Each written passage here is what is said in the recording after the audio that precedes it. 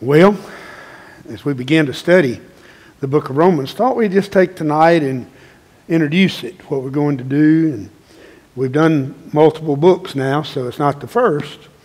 I thought I'd give you some additional notes tonight. I give you a good many verses, but then I also give you some things that I'm going to be saying. It's just something you can take home and chew on. So I hope you got a copy and you can follow along for the most part. I'll let you know when we're in the notes, I'll say. The book of Romans, Romans chapter 1, verse 1, I didn't give you that verse, but this identifies the author of the book of Romans, of course, is the Apostle Paul. Something interesting we see in Romans 16, verse 22, and you will see that as we study that, that Paul used a man named Tertius. Now, it's a little pronunciation thing that I've listened to multiple people say it, that it's, it's T E T I-U-S.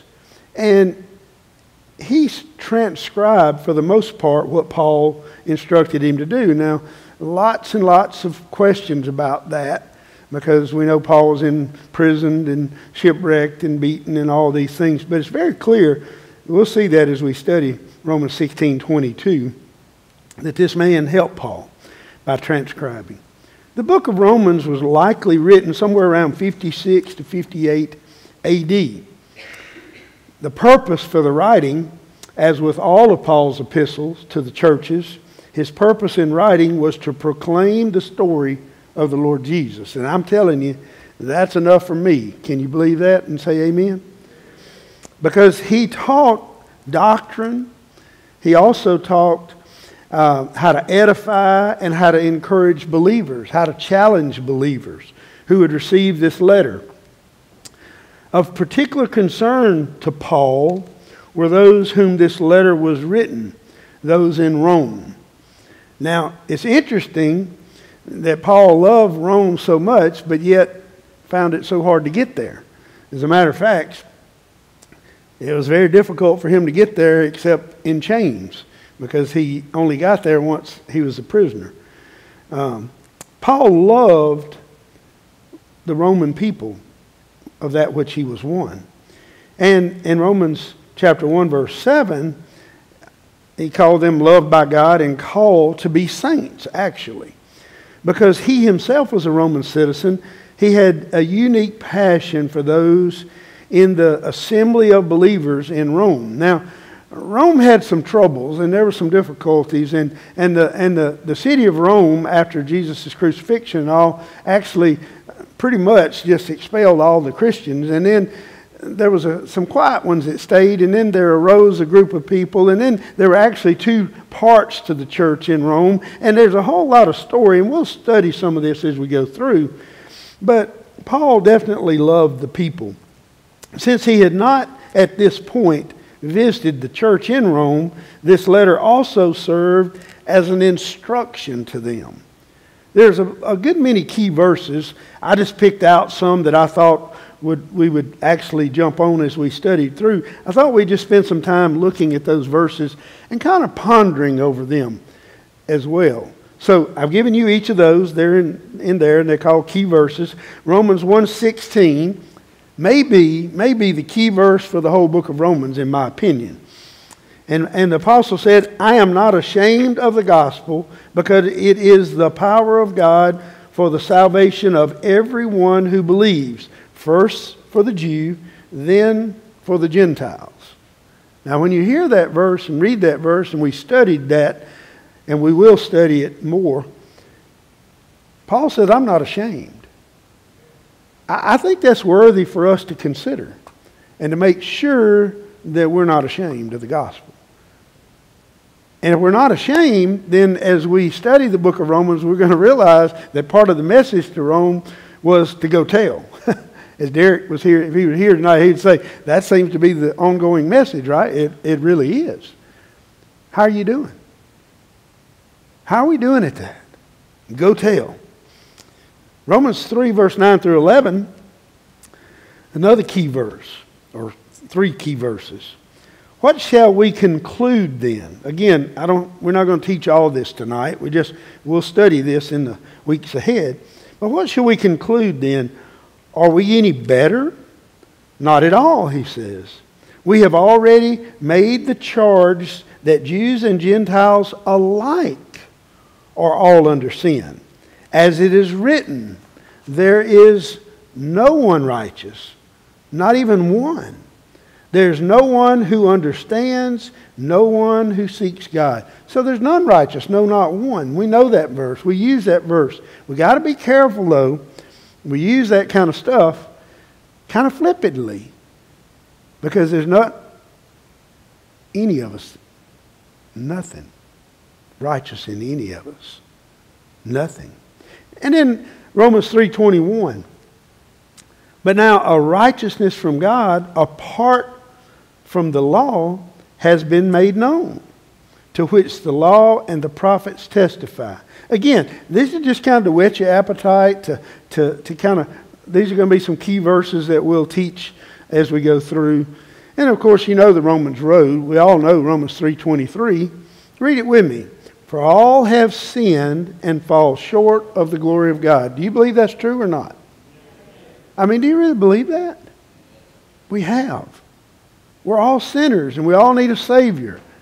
We're all falling short. We all fall short of the glory of God. I said Sunday, uh, someone mentioned something about what I said about I was a sinner in need of a Savior, and I, I still sin, but I sin less. And someone just said, that's really a good way of saying that. I never thought about sinning less, like I sin less. I said, well, the Bible says we all are sinners. We all fall short of the glory of God. Now, I don't see that changed, except for the fact that I do sin less, okay? Romans 5 8, you know the Romans road, so it comes right along behind it. It says, But God demonstrated. What do you think about when you think about that word? But God demonstrated. What is another word we would use? He showed. What's another word? Any, any other word? He what? Teaches. Teaches. Absolutely. He shows us. He demonstrates his, I like that, his own love for us in this while we were still sinners or yet sinners that Christ died for us. So eh, it's just it's just really, really key that we catch these things. And then, of course, Romans 6.23 spells it out, doesn't it? We know that one as well. For the wages of sin, what is the wages? The payment. What's due to you and I, the payment for sin is death. But the gift, the gift, the gift of God is eternal life through Jesus Christ the Lord. Can you pay for a gift? Could you, if somebody gives you a gift and you pay them for it, is it a gift? Eh, you can't pay for it. So that means you can't work for it. There's no amount of money you could ever pay for that gift. There's no amount of work you could ever do to pay for the gift. It's a free gift. Now, it wasn't free to Jesus, but it is a free gift that we receive by faith. By faith. So, the gift of God is eternal life through Jesus Christ our Lord. And in Romans 8 9, you, however, you, however, or controlled not by sinful nature, but by the Spirit. So is he talking to lost people or saved people right here?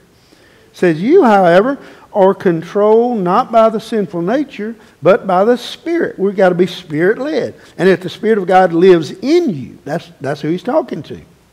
And if anyone does not have the Spirit of Christ, he does not belong to Christ. Could that be any clearer? I mean, black, white, right? Saved, lost evil, holy. I'm just saying, there's no way for it to be any clearer. And you'll see as we study the book, there's plenty of those clear black and white issues here. Uh, you know, save lost issues, uh, holy, evil issues that we can discuss and will discuss. Romans 8 28, a lot of times misused. A lot of times misused. But we know, right? We know. Who is the we? Who is the we? The followers, the Christ followers, and we know that in all things God works the good of those who, for the, those who love Him, who have been called according to His purpose. He works out the details. It don't always look good. I mean, you can either you can have a flat tire on the side of the road and say, well, that's a bad day. Or you can say, well, I had a flat tire on the side of the road, and because I had a flat tire, I wonder what I avoided. Could have been a drunk driver coming. Could have been somebody T-bone you in an intersection. Could have been, a, could have been, could have been, could have been. God works all things together for good. And you can look at it that way, or you can be upset about everything. I mean, really, it's the bottom line. And then Romans 8, 37, 38, and 39. I love what the apostle says here. He says, For I am convinced, man, this is good. This is my stuff right here. For I am convinced that neither death nor life, nor angels nor demons, nor the present nor the future, nor any powers, nor any height or depth, or anything else in all of creation. I think he just covered it then, didn't he? or anything else in all creation will be able to separate us from the love of God that is in Christ Jesus our Lord. I, I just want to stop there a minute because I think we read some verses like that. If, For God so loved the world that he gave his one and only Son, whoever, for whosoever believe in him should not perish but have everlasting life. We take things like that and we just kind of run through them. This is one of those verses it's one of those verses that I think you ought to just ponder over. Look at it with me carefully. I am convinced of this. Are you? You need to be. I'm convinced that death nor life, nor angels nor demons, neither the present nor the future, nor any powers, nor any height, nor any depth, nor anything else in all of creation we will be able to separate us from the love of God that is in Christ Jesus our Lord. That's a big statement. There's a lot happening right there. But nothing, can I just say it like that? Would that be an amen point? Nothing, nothing can separate us from the love of God? Would that be an amen? Romans 10 verse 9 and 10. The Bible says that if we confess with our mouth, so how, what must you do? What does it say? You must confess with what? Does that mean we ought to say it? Okay, is that what that means? We ought to say it. If we confess with our mouth, Jesus is Lord. Won't we do that right now? Jesus is Lord. Do it again. Jesus is Lord. That's confessing with our mouth, Jesus is Lord and believe in our heart. You know, we just talked about this last Sunday, right? We just talked about that God raised him from the dead. Confess with our mouth, believe in our heart that God raised Jesus from the dead. What does the Bible say will happen? You will be saved. You will be saved. For it is with your heart that you believe and are justified. And it, and, and it could say, but it is with your mouth that you confess and are saved. I'm telling you, that's not one of those verses. How, many times do we just kind of run through that? In our mind, even. We just got to take this. There's so much in the book of Romans. It's going to be so much good stuff to study. Romans 12, 1. Therefore, I urge you, brothers and sisters, in view of God's mercy, to offer your bodies not as a dead sacrifice, a living sacrifice. And then there's some stipulations to that living sacrifice. Well, how's it to look? Evil? Evil? No. Holy. Unpleasing? No. Pleasing. Pleasing to God. But this is your spiritual act of worship. You want to worship the Lord? Here's what you do you want to be spiritually, actively worshiping the Lord? I urge you, brothers and sisters, in view of God's mercy, to offer your bodies, your life, as a living sacrifice, holy and pleasing or holy and acceptable to God. This is your spiritual act of worship. It's our spiritual duty, is what he's saying. It's what we ought to do. Are you doing it? There's going to be a lot of questions like that. Are you doing that? Romans 12, 19. Remember, this is just this is just a few key verses, right? And I could have given you a whole lot more. Just a few.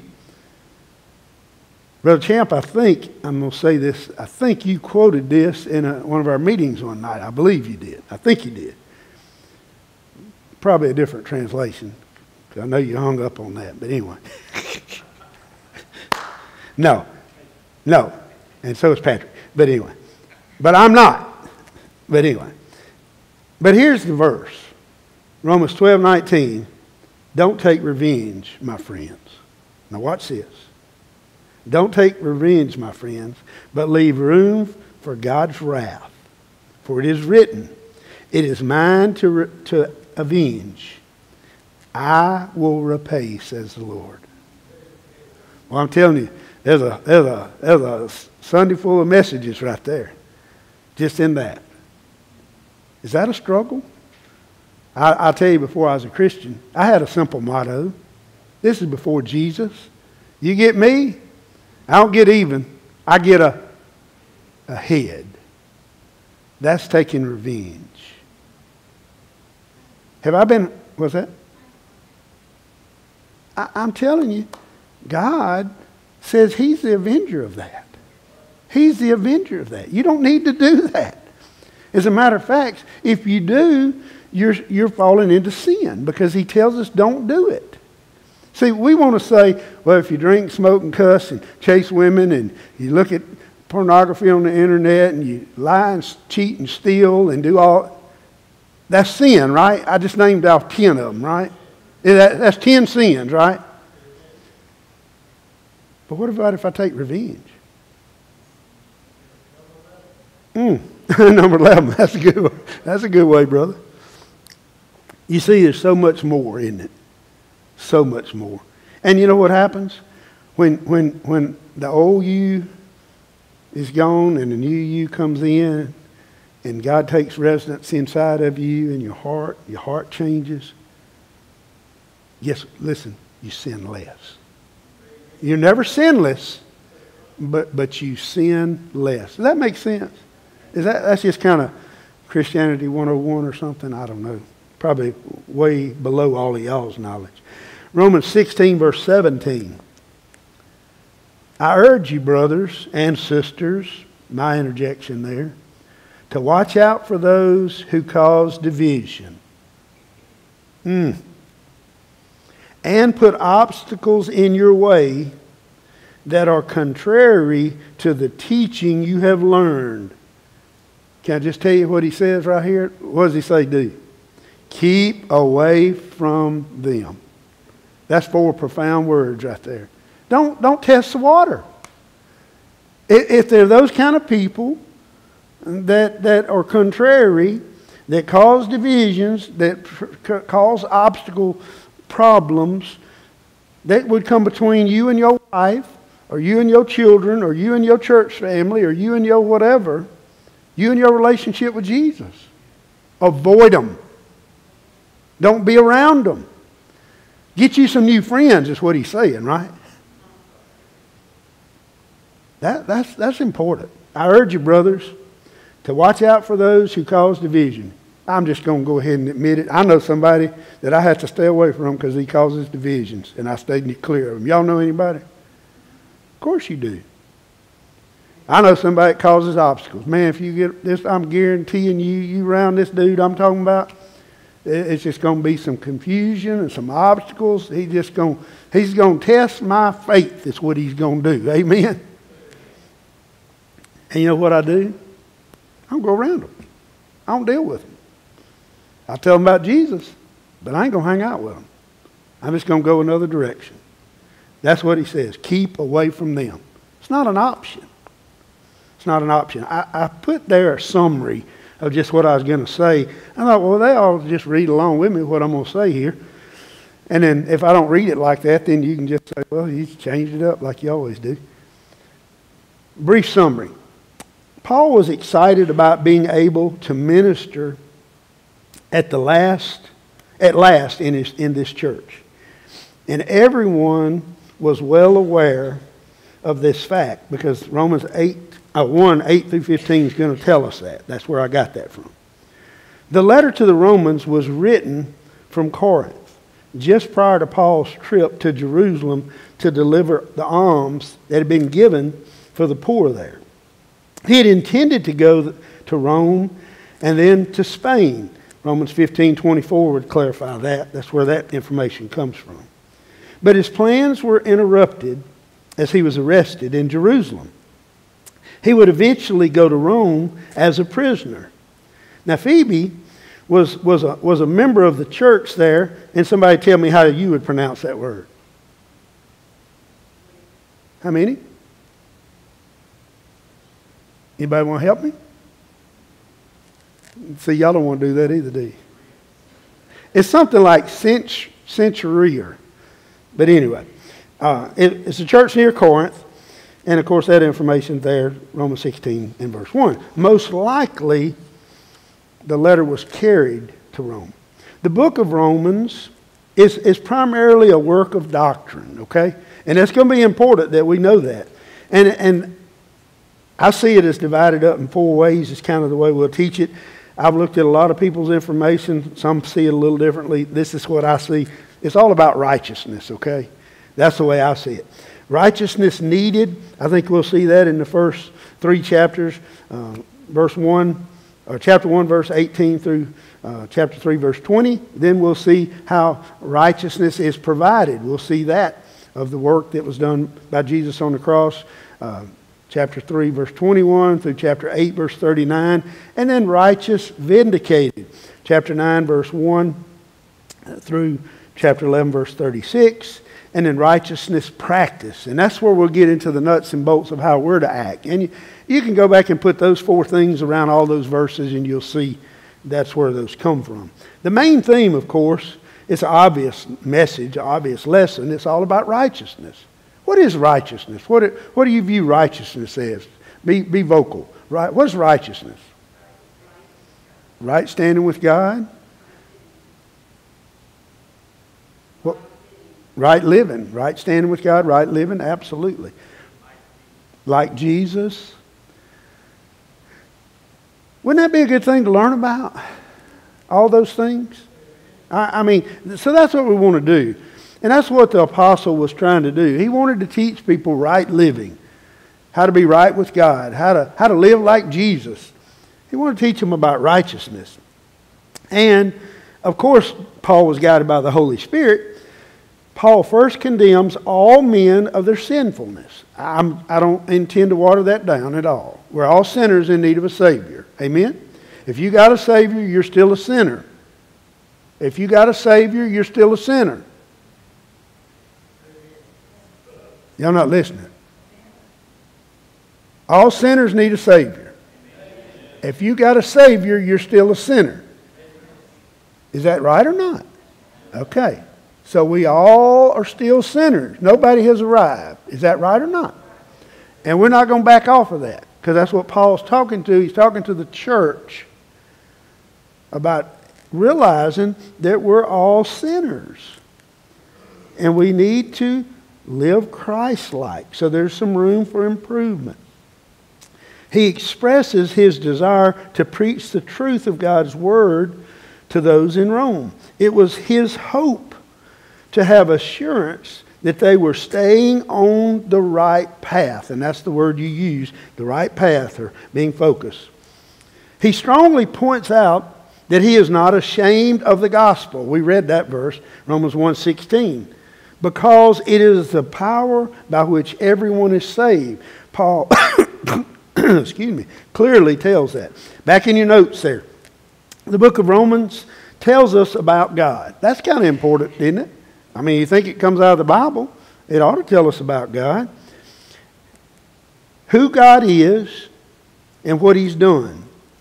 It tells us of Jesus, what His death accomplished. We just celebrated it in the past three or four weeks, his death, his, his, his, the, the beautiful story of all of that, even in the gruesomeness of it all, but the beautifulness of, of Christ surrendering his life. Had a young man at work today, he just said, he, he's always asking me Bible stuff.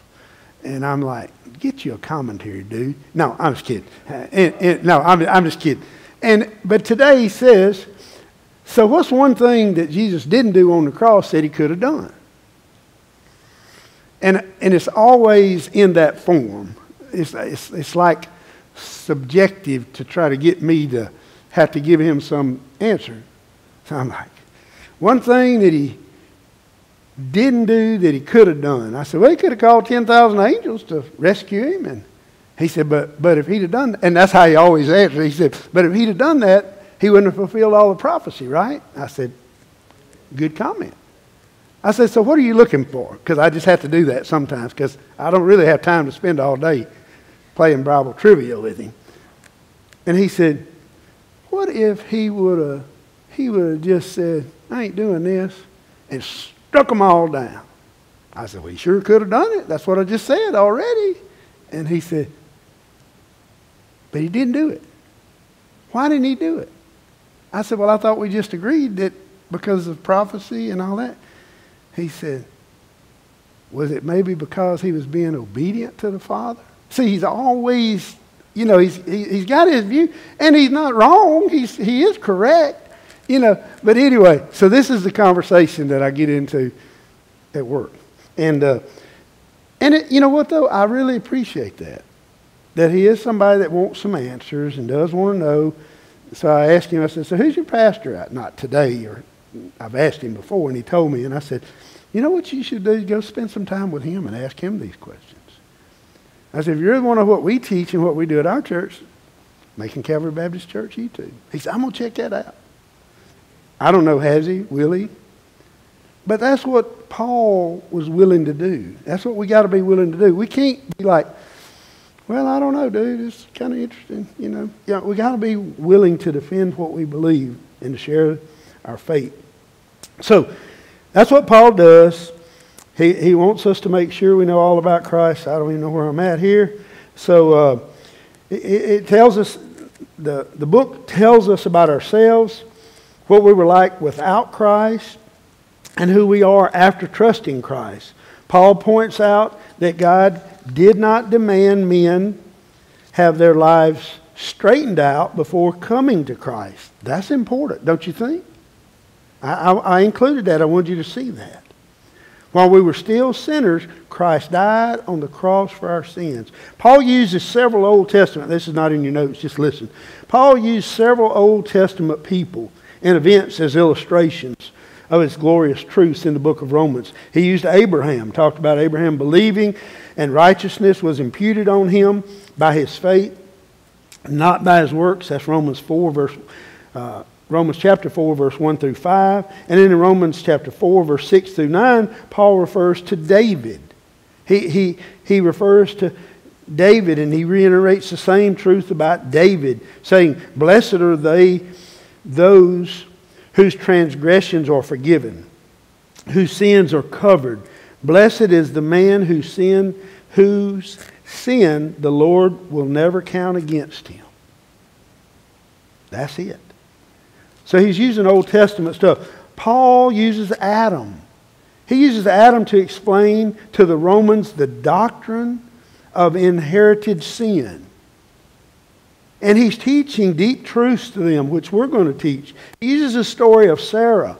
He uses the story of Sarah and Isaac, the child of promise, to illustrate the principle of Christians being the children of the promise of the divine grace of God through Christ Jesus. In chapters 9 through 11, Paul is going to recount the history of the nation of Israel. And he's going to declare that God has not completely and finally ejected Israel.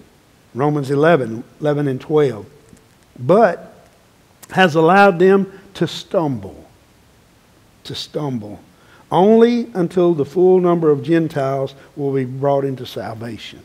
So there's a lot going to happen in the book as we study. Practical application. This is in yours there, and, and we'll conclude right here this is kind of my summary of what I think we'll do. The book of Romans, to me, makes it clear that there's nothing we can do to save ourselves. Would you just think that's a good thing? That, that's important to know. Because if you believe that you can do something to save yourself, you're on the wrong mission. As a matter of fact, if you believe that, you're not going to inherit the kingdom. Because Jesus said, I am the way. Not one of them, some of them are part of it. The only way to the Father. So there is no other way to save yourself.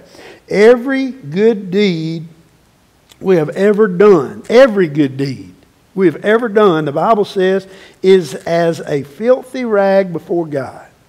Yesterday we are home and I, I've been having this drain issue and I've slaved and suffered out for the Lord out in the yard digging and cleaning up pipe, and it's just a drain line. It's no big deal, but it's a big deal when you're two foot deep and two foot wide, and the pipe's in the bottom, and it's flat as this Bible right here. It's bad. But anyway, replaced it, and I'm out there, and I'm down on my knees in the mud and trying to make sure it's all sealed up. Just dishwasher and kitchen sink. Beverly says, Hey, you need to go down to Lamar White's. They got a, somebody got a flat and need you to come down there and change the tire. I just, on my knees in the hole, and I looked up and I said, Are you serious? And she said, Yeah. So I did what all good local small town pastors would do and left there with the mud on my knees and my elbows and arms and went and changed the tire in the gravel parking lot at Lamar White's Grocery. Why do we do those things? We're just good neighbors, right? Of course we are. But why do we do those things? What puts those things in our heart to do those things? The Lord does that. That's not works that I do for me. It wasn't works I do for to get into heaven. It's not works I do even because of who I say I am. It's just because you got a new heart. You got a new set of desires. You got a new set of want tos. You just want to be a blessing. And then you come back and you get back in your mud hole and you do what you do. You finish the job. So, what'd you say? It ain't funny, she said. It ain't funny watching me out there, it? But the things you do, that good that I did was good is equal to filthy rags before a holy God. Miss Fay loves her flowers and stuff at church. Miss Fay, it's the same. Your good works and good deeds, uh, the folks that mow and clean, and it's, it's, it's nothing. It's just stuff. We, we got to keep it all in perspective. Does that make sense? I'm just trying to make we, we just got to keep it in perspective. Every good deed, everything we've ever done is just as filthy rags before God. That's what I see. So, so we're dead in our trespasses and sins, are we that are only only the grace and the mercy of God can save us. We can't nothing about that. I didn't make that sentence sound right, did I? So God expressed that grace and mercy that, that grace and mercy by sending his son, Jesus Christ, to die on the cross in our place. And when we turn our lives over to Christ, we are no longer controlled by our sin nature, but we are controlled by the Holy Spirit. Now, that's a true thing to question yourself. Because I might not have went yesterday and done that. I might just said, let somebody else change the tire. Somebody will stop and help them anyway. Really? We got to be led by the Spirit, right? Is that true or not? And if we make confession that Jesus is Lord and believe that He is raised from the dead, we're saved and born again. Not by the works that we've done. I, I kind of jumble all that together. But not by the works we've done. So we need to live our lives offered to God as a living sacrifice to Him. We need the worship of God who saved us should be our highest desire. Is it? Is your worship of God your highest desire, or is it just kind of meet in there somewhere? Well, that's a good question. That's a profound thing to check out. We're going to talk a lot about that. Perhaps the best application of the book of Romans would, would apply the verse, chapter 1, verse 16, and not be ashamed of the gospel. Not be ashamed of the gospel. But instead, let us be faithful to proclaim the gospel. Folks, I'm just telling you, we're not all what we claim we are.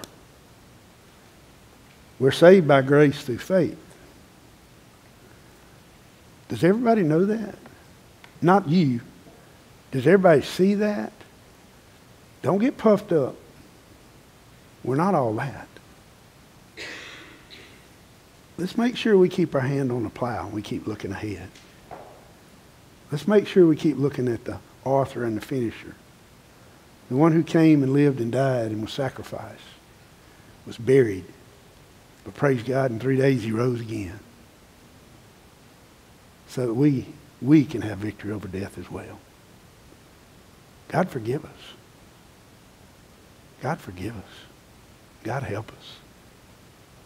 Let's pray together. Lord, we love you. We praise you and we thank you. You're worthy. So excited to start a new book of study. And I pray, Father, that you'd open our hearts and minds. Hope this wasn't confusing.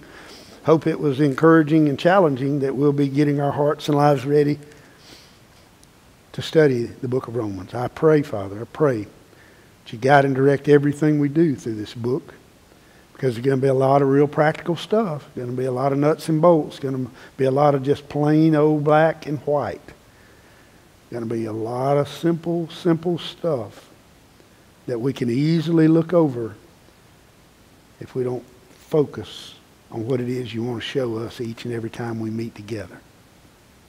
I pray that we'll do that. I pray this will be a core group right here. I pray that we'll invite others and encourage others to even join us on Wednesdays as we study Sundays and Wednesdays. What could really happen if our church really, really bought in and believed, followed these stories of right living, how it could change Noxubee County, how that could change this part of the state of Mississippi, and how that could reign around the world if we would just truly truly surrender and submit. Become living sacrifices, worthy and acceptable. Father, I pray for these, love these folks. I'm grateful and thankful for the privilege and opportunity to spend this time with them. Each and every day, pray over them and pray with them, encourage them, challenge one another. I pray blessings upon blessings over them. We love you and praise you and thank you in Jesus' name. Amen.